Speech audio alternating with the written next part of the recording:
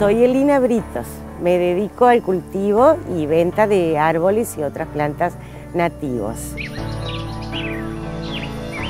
Hace unos ocho años comenzamos con las ventas en Mercado Libre de todo tipo de artículos como antigüedades, libros, herramientas de, de, marca y al poco tiempo tuvimos la poca fortuna con mi esposo de quedar sin trabajo los dos.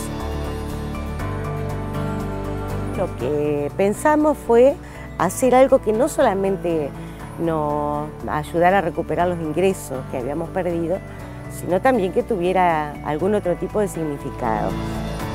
En casa, decía ya unos cuantos años, estábamos armando con mi esposo un parquecito de árboles nativos que en ese momento ya estaban grandes, dando semilla, en fin.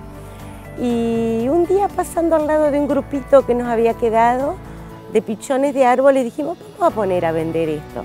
Y para nuestra sorpresa se vendieron casi enseguida Así que ahí nos entusiasmamos, empezamos a, cosechar más semillas en nuestros propios árboles y a recorrer diferentes lugares. Eh, a este momento hemos recorrido todo nuestro país y, parte de regiones vecinas también. Nosotros acá vendemos sobre todo árboles nativos, por ejemplo, eh, pitanga, jazmín del Uruguay, jacarandá, ibirapitá. Con mi esposo estamos pero más que agradecidos de todo corazón a, Mercado Libre porque nos cambió la vida, nos dio la posibilidad de estar juntos en nuestra casa, trabajando en algo que nos gusta.